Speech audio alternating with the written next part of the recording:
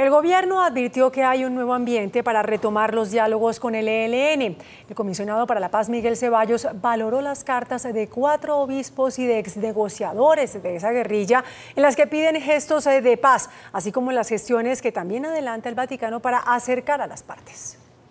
El balón está en la cancha del ELN. Ya son tres manifestaciones importantes eh, solicitándole a ese grupo armado que entregue los secuestrados y que cumpla las condiciones. El editorial del espectador, la carta de exnegociadores y personas muy importantes de la sociedad civil y la carta de cuatro obispos. Sin duda alguna, hay señales positivas. La declaración del embajador de Estados Unidos, Philip Goldberg, de que ve con buenos ojos ese diálogo y la participación de la Santa Sede.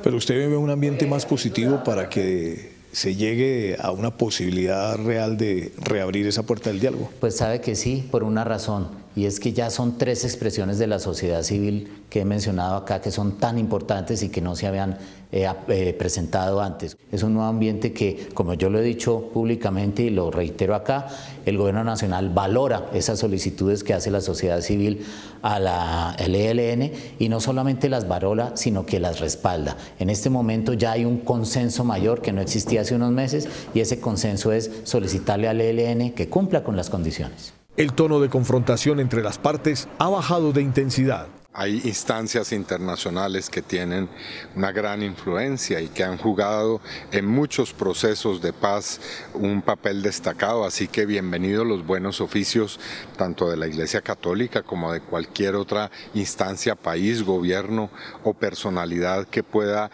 jugar un papel decisivo. Pero lo fundamental es si el gobierno va a respetar esa mediación. Lo que hizo con Cuba y con Noruega, el desconocimiento a lo que ha pedido la ONU en términos de implementación con FARC, demuestra que es un gobierno que no quiere oír a la comunidad internacional con el respeto debido.